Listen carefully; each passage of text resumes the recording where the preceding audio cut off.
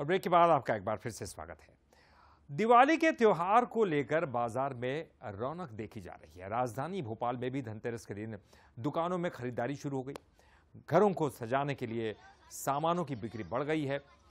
लोग घरों की साज सजावट के लिए खरीदारी कर रहे हैं। तो बाजारों में रौनक है जगह जगह तस्वीरें।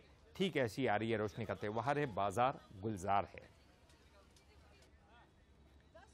और बाजारों का जायजा लिया हमारी सहयोगी प्रशंसा ने। आइए सुनते हैं।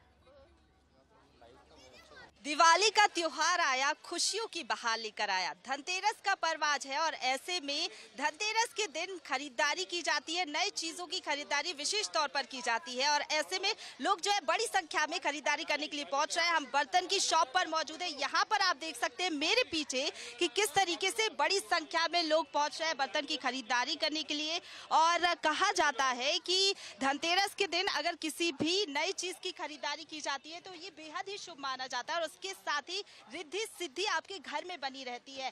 और इस बार क्या कुछ खास है? ग्राहक क्या कुछ पसंद कर रहे हैं, ये जानेंगे।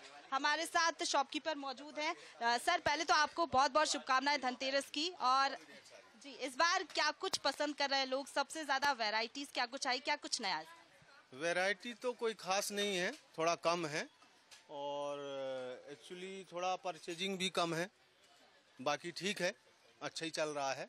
अभी तो दो एक दिन से थोड़ा सा भीड़ भाड़ बढ़ रही क्राउड बढ़ रहा है। और ये थोड़ा चुनाव उनाव के माहौल की वजह से थोड़ा सा मार्केट स्लो है।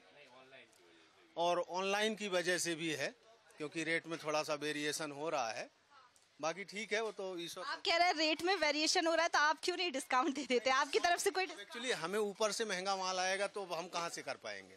ये बात ठीक है ठीक है तो देखिए वेराइटीज तो बहुत है लेकिन लोग अपने अपने हिसाब से पहुँचे कुछ ऑनलाइन शॉपिंग कर रहे हैं तो कुछ दुकान पर पहुँचे लेकिन हर एक जगह आप देख सकते हैं वेराइटीज है हर एक चीज़ की चाहे बर्तनों की हम बात कर ले या फिर घर के साथ सजावट की कोई भी चीज़ हो। तो राजधानी भोपाल के बाज़ार गुलजार है धनतेरस पर और आगे जो है भीड़ और भी ज़्यादा बाजारों में बढ़ेगी, क्योंकि भाई त्योहार दिवाली का है और शॉपिंग ना हो, ऐसा कैसे हो सकता है? कैमरामैन दिलीप विश्वकर्मा के साथ मैं प्रशंसा पाठ्या, बंसल